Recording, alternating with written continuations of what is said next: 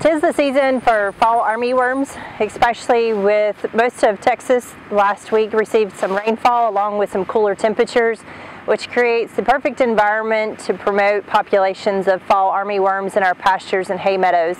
Fall armyworms are going to prefer cooler temperatures and moisture, so when we have some of these fall rainfalls or late summer rainfalls that also um, drop our temperatures, that can lead to flushes in populations.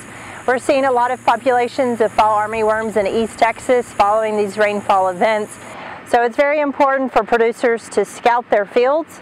Um, it's really important to scout early, especially if conditions are supporting those populations, to get out into your fields in the mornings when there's still dew on the ground, as well as the sun hasn't come out, so it's a little bit cooler at that time.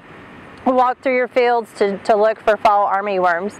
The threshold um, in regards to at what point should we decide to treat, the threshold level is three or more armyworms per square foot. At that point we recommend treating with a pesticide that is labeled for hay meadows or pastures. Make sure you're following labeled directions when, when you're using any type of pesticide. Remember that the label is the law. Fall armyworms can do substantial damage to our forage in regards to consuming. They, they can really decrease the quantity of forage available for livestock or that's potentially available for a hay harvest. It's very important once you've determined you have a population that's worth controlling that you spray as soon as possible.